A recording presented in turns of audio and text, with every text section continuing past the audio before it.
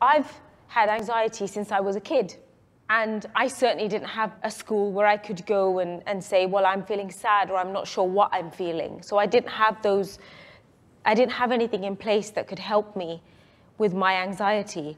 But I know now that there are schools who do have mentors and they have certain procedures in place for children who are struggling with anxiety from a very early age.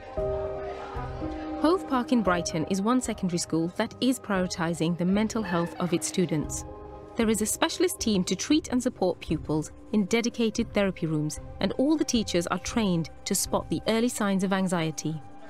I went to school 17 years ago, and being popular was important, but you guys have the added pressure of social media. Social media basically impacts everything to do with us now. Like you're expected to post like like or nice pictures of you or like like with makeup on, like Yeah, nice clothes, nice clothes. not like in like trackies and but on your Instagram they expect you to have like a really good feed for like everybody else to like. That's important, isn't it? Getting likes.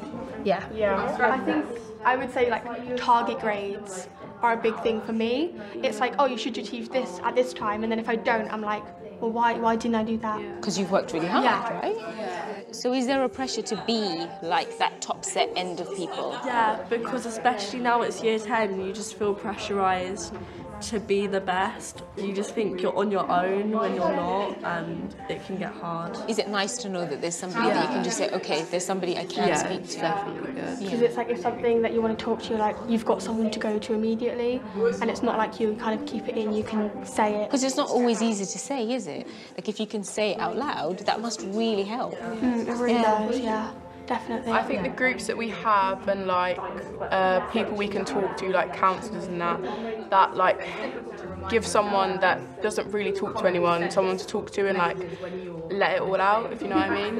Yeah, it feels good to just like because you know that person's not going to tell anybody else, but Yeah. like you keep you bottle everything up and you finally get to tell someone, which is really good and it feels like refreshing.